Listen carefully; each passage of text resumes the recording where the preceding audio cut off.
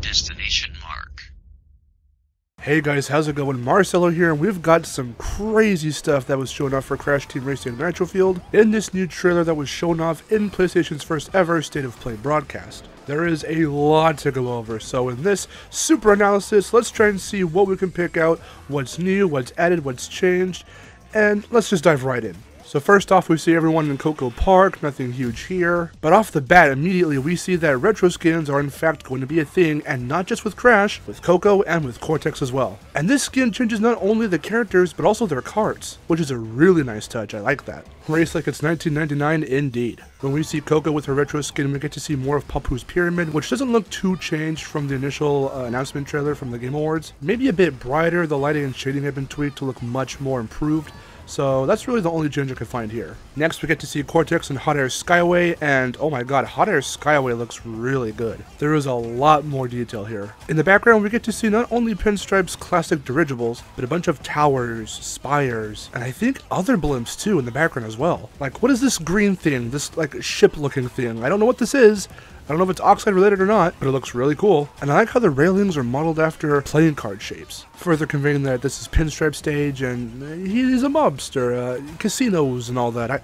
I don't know, but it's a really nice touch. But the biggest drop of all, we've got tracks from Crash Nitro Kart up in here, and they look really cool. First up, we get to see Electron Avenue, as evidenced by that big, long drop at the very beginning of the track. Its feel with the colors and the palette has been massively changed, boasting a lot more purples and blues this time around. Next we get deep sea driving, and at first I couldn't even pin down what stage this was. I know you can see aquatic stuff in the background, but that tentacle monster octopus thing was not there in the original. So for a while that threw me off, I was trying to find out where this was from, but I think it's deep sea driving. Next we get a good look at that awesome huge gargoyle statue from Clockwork Wumpa, and that's super rad. Some more Electron Avenue, we get to see some neon, like, Uh, holographic trees. That's pretty dope. And if tracks like Electron Avenue are going to be in this, that begs a pretty important question. Or rather, a speculative question for me personally. Mario Kart 8 also had an anti-gravity mechanic, and in some of the tracks they lifted from other Mario Kart games, they were re-envisioned with the anti-gravity mechanic in mind. Seeing as Crash Nitro Kart had anti-gravity,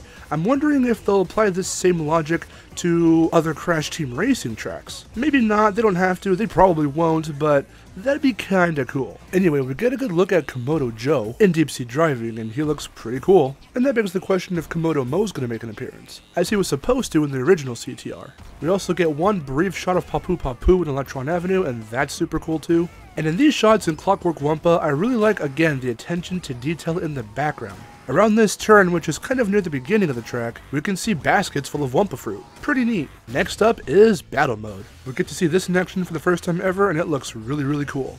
First up, we get to see Skull Rock, and all four characters are participating in a free-for-all battle. Pretty standard to Crash Team Racing, but the immediate next shot shows us in a completely different arena. I'm not sure if this was lifted from either games, but it looks really cool with the stadium setup and everything. And this time they're playing Crystal Grab, which is straight from Crash Nitro Kart. This one right here looks like Magnetic Mayhem. I could be wrong, but the colors and overall setting very much gives off that vibe. And this one can either be Desert Storm from Nitro Kart or Rocky Road from Crash Team Racing, I'm not really sure. The warm tones of the environment make it look like Rocky Road, but that purple sky is very, very Desert Storm-esque. And to bookend the trailer, we've got a shot of Cortex, Coco, and Crash back in Coco Park all in their retro skins. This trailer is nuts. That's everything I could see and pick apart from this trailer, but what do you guys think? What have you guys seen? What have you noticed?